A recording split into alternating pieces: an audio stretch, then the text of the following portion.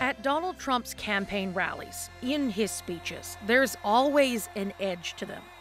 And at this one, in Georgia, he seemed more aggressive than usual.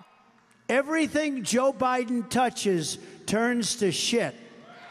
The crowd loved Trump's attacks on Joe Biden, going after everything from his policies to his speech impediment. We all heard Crooked Joe's angry, dark, hate filled rant of a State of the Union address. Wasn't it? Didn't it bring us together? Remember, he said, I'm going to bring the country to, to, to, to together. I'm going to bring it together. His supporters becoming especially animated on immigration. Trump met with the parents of Laken Riley beforehand. The 22 year old nursing student was murdered while out for a morning jog on a wooded trail. Arrested and charged in her killing is an undocumented immigrant who entered the U.S. illegally and was allowed to stay. Laken Riley would be alive today if Joe Biden had not willfully and maliciously eviscerated the borders of the United States. The murder case is now a campaign issue, part of the broader debate on immigration policy.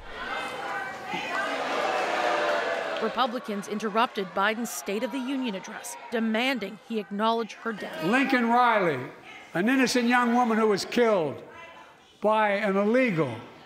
That's right. Using the word illegal in that context drew criticism from progressive voters, and Biden now says he regrets his words. And I shouldn't have used illegal. I should. It's undocumented. And look, when I spoke about the difference between Trump and me, one of the things I talked about on the border was that his the way he talks about vermin, the way he talks about these people polluting the blood.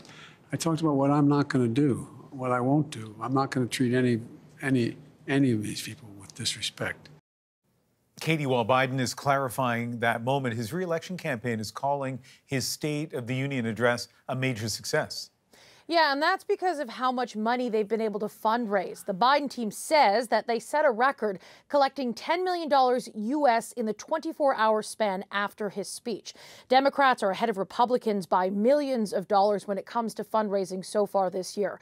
But Biden walking back his comments over the word illegal has infuriated his Republican critics. They argue essentially it's tone deaf. The Republican House Speaker called it embarrassing, and they are ramping up their attacks against Biden. Ian. Katie Simpson in Washington tonight.